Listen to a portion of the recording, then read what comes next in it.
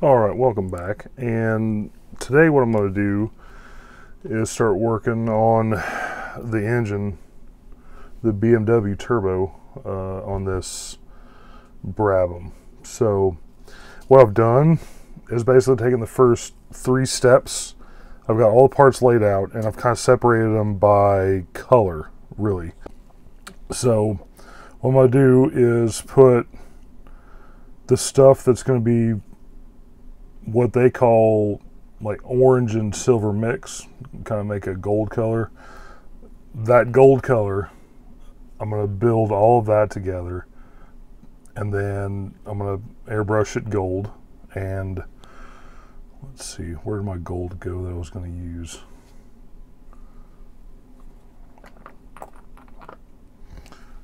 I'm going to use this um, from Model Car World Anniversary Gold Metallic. That is GM color, but it's a good metallic gold and it's not that metallic metallic if that makes any sense. So it's a good gold color for an engine. So what I'm gonna do is I'm gonna put the engine part together. That's all gonna be that color. And I'm gonna shoot it and then like so the bottom half of the engine is gonna be semi-gloss black. I'll get that taken care of afterwards. So like most of this pile here is going to be semi-gloss black. These are like random colors.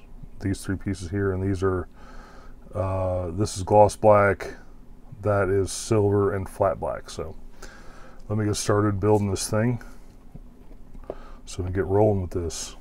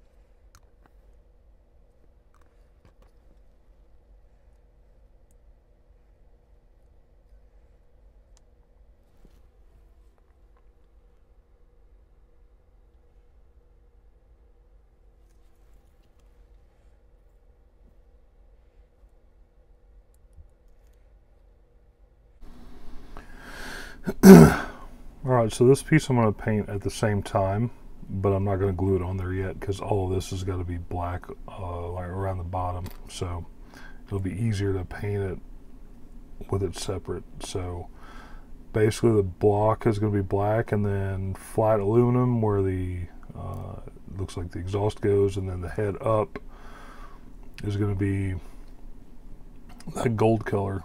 Uh, this front piece is going to be the gold color as well. Uh, minus this little piece over here uh, is a semi-gloss black. So anyways, uh, that is first part of the engine assembly. Also this uh, base here is all going to be gold as well. So get all of this to paint and then I'll start putting more together. Be right back. All right, here it is. Uh, the engine completed and painted.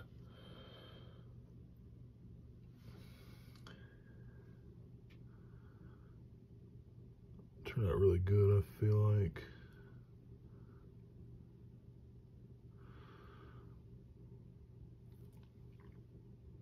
I'm just showing a little bit of detail there, but yeah. Um, that part's all finished up. So my next video, we'll get on to, looks like the transmission, oil, ta uh, oil tank, and uh, the rear suspension. So, and then all of that will combine with the engine here. So that's all I've got for right now. I will show you actually as well. Um, I got the decals on the body. So uh, it's looking pretty good. Pretty happy with how they turned out. So, all right, I'll see you next time. Thank you all for watching.